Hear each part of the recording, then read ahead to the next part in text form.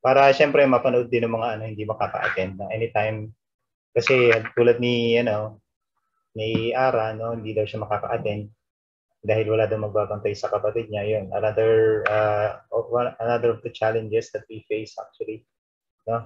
Kaya yan, naiintindihan naman natin yun. Kaya gagawa tayo ng paraan para at least no, maka-attend pa rin naman or yan maka ano makasunod pa rin naman yung mga hindi na hindi nakaka-attend sa ating tinatawag ng synchronous classes when you say synchronous sabay-sabay no yan.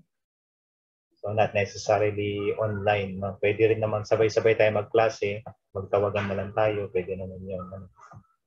Basta ang importante, sabay-sabay tayo nagkaklase. Ayan. So again, congratulations sa lahat. No? Uh, natutuwa talaga ako sa mga outputs na sinedyo sa akin. No? Kasi nakikita ko doon na nag effort talaga kayong lahat. No? Uh, by the way, no, uh, may mga blanco pa rin doon sa ano sa grading sheet ko no so ay narinig ba yung ano yung mga notifications sa aking ano computer hindi naman Ayan. again paki-react na lang kayo ha again this is no and this is yes na pag pag clap ay yes Ayan. clap ay yes and uh, thumbs up ay no ano ba yan? Narinig niyo yung aking notifications? Kinlose ko na yung messenger ko. Ayun. Kinlose ko na yung messenger ko para hindi niyo marinig. Ito naman sa cellphone na ano, paparamdam. Ano ba yan? Wait lang ha. Ayan. Para hindi na i-istorbo yung klase natin. Okay. So, okay lang? Okay na? Ayun. So, ano yung sinasabi ko tuloy? Nakakainis. Ayan. Alam mo, may klase ako. Chat ng chat. Talaga naman. Okay, so by the way, ayan. So, ayan.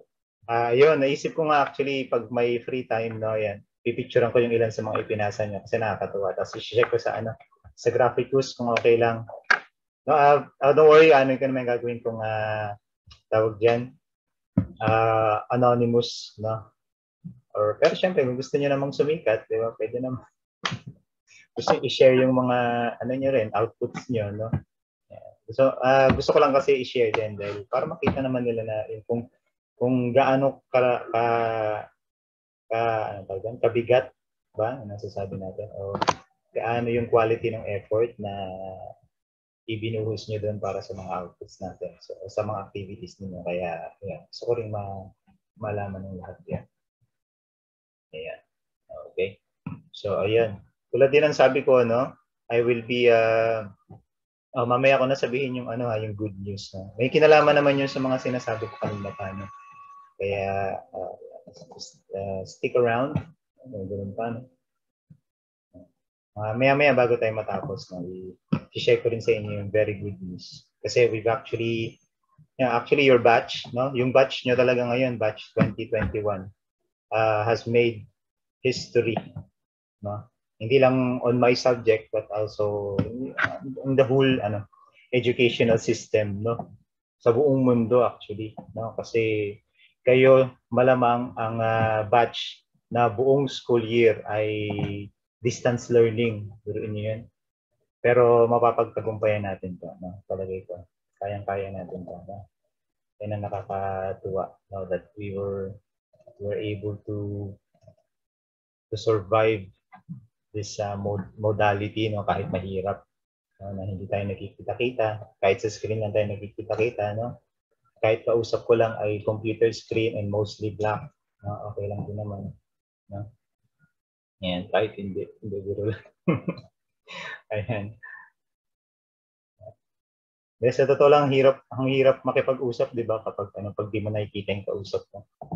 Especially magdi-discuss ka no, hindi mo. Ako kasi I'm I'm I'm the type of uh, teacher na yan, gusto ko nakikita ko yung mga kausap ko no kasi yung yung the way I teach depends on how how my uh, students react on the discussion no? so pag walang feedback no medyo nangangapa ako kumbaga paano paano ko idadaos yung klase no but unlike pag nakikita ko no nakikita ko medyo may inaantok na yan medyo may uh, nawawala na sa focus no Yeah. At least nagagawa, nagkakaroon ng adjustment. Yan. But unlike here, no, ang nakikita ko lang yung mga reactions nyo. No? Yan. Kung may mga reactions kayo dyan. No? Yan. Magre-react-react kayo ha, kahit pa paano ha. Kung uh, hindi kayo masyadong komportable mag-on cam, no? re-react-react na lang. No? Para at least alam ko nandiyan pa kayo. No? Yan, okay. So para hindi na tayo masyado magtagal, 9.42 a.m. na sa akin? I'll start sharing my screen and let's uh, walk through our um, module. No? Nakikita na ba? Please react if you can see our uh, uh, thank you for reacting. Yan. Pwedeng heart, pwedeng clap. Pag yes, yan. Ano. Pag heart kasi yes na yes. Yan. Oh, yes na yes daw sina Pine at sina Jasmine.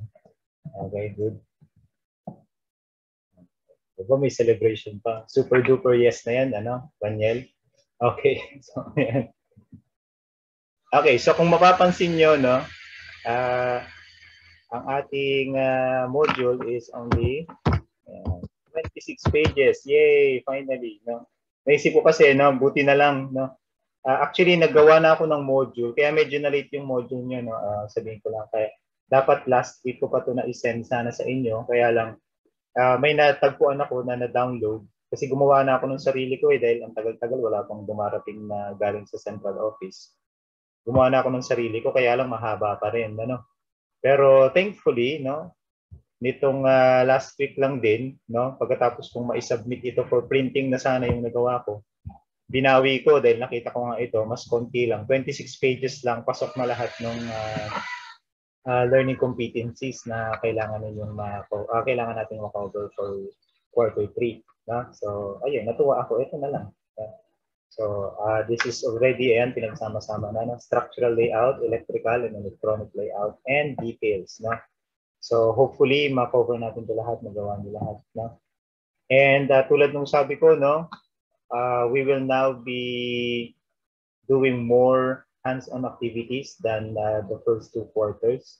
No? Kasi palagay ko naman, sa nakita ko rin, ano, ilan sa inyo medyo familiar na dun sa paggamit ng AutoCAD. No? So, uh, yung iba nga nakagawa na ng interior, uh, ano, di ba? Interior perspective, saka exterior perspective, no? Merong dalawa o tatlo na nakagawa na.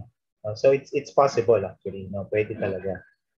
Though hindi siya ganun ka-technical, no? Hindi pa siya ganun ka, ano, tulad ng mga professionals natin. At least, nandun na kayo, no? You're already there. Na naumpisahan niyo na, alam niyo na. No? Madali na lang aralin yung mga advanced pag naaral niyo o natutunan niyo yung basics. No? Okay. So, ayan. Nag, nag ano pa. No? By the way, this is not sponsored. not sponsored by Rotring. Okay, sila ang mga nagsulat. Thank you so much, uh, ma'am or sir Hermie. Salamat at meron kang magagamit ngayon. Okay, so this is lesson 1. Ayan yung mga definition of terms. Actually, parang review na lang ito. May mga additional lang din ng mga ano, uh, mga terms na about AutoCAD. Uh, basahin nyo na lang din, browse natin. Uh, the rest of them are uh, were discussed actually last year from your grade 9 uh, subjects.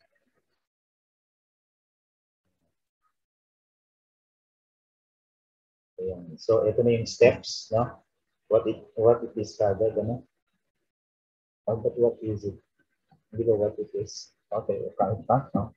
Whatever it is, it's it, uh, it is. Ayan. We are using CAD to draw the foundation plans. Ayan, ang steps natin. Hopefully, I'll be able to uh, demonstrate that to you.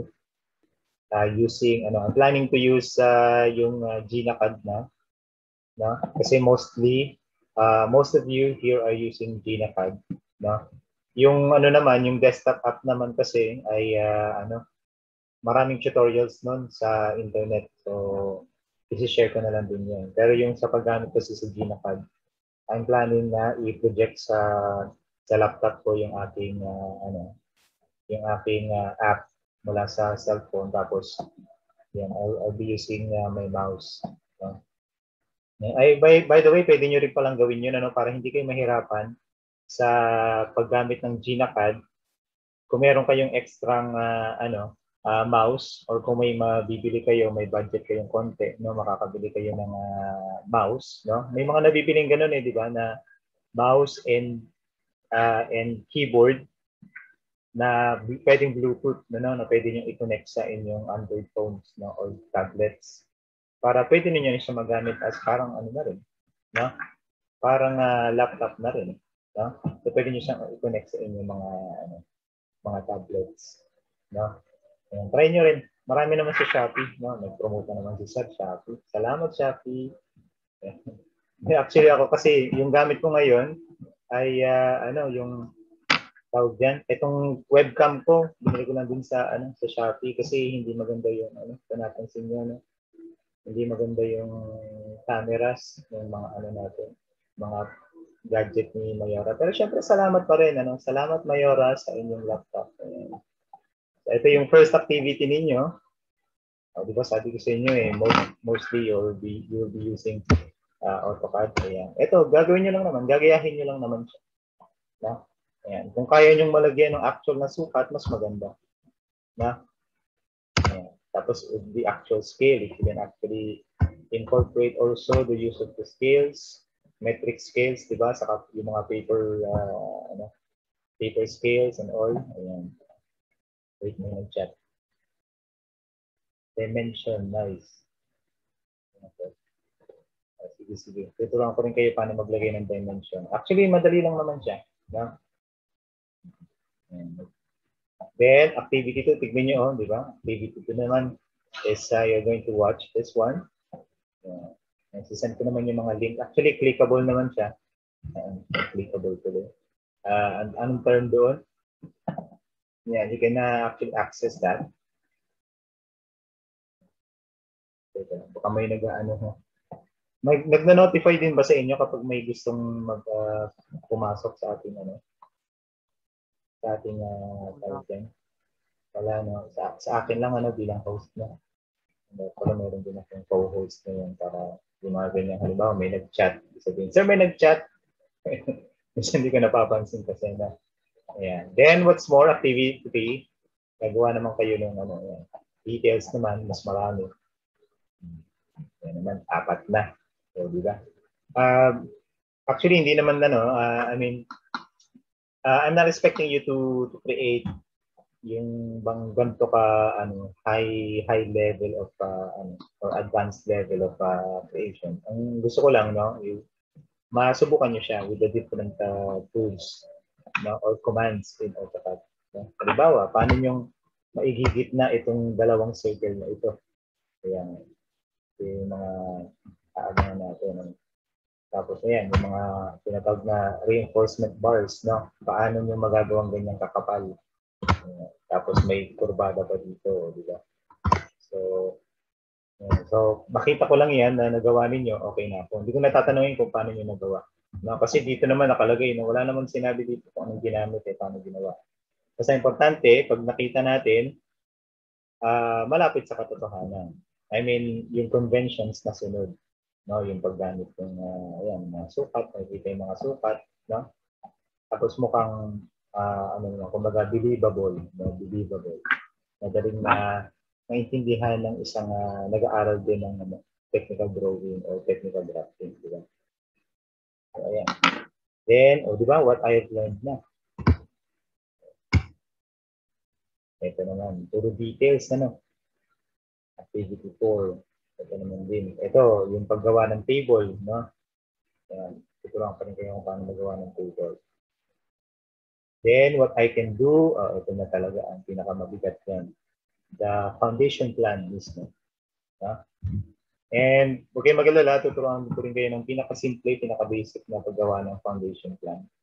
Na, mag-share din ako ng ilang mga uh, tawag dyan, uh, video uh, video tutorials no from YouTube siguro. Baka meron din kasi baka may mas mahusay kasi sa akin na ano na Indiano, alam niyo naman, magaling kasi mga Indiano sa ano eh, no?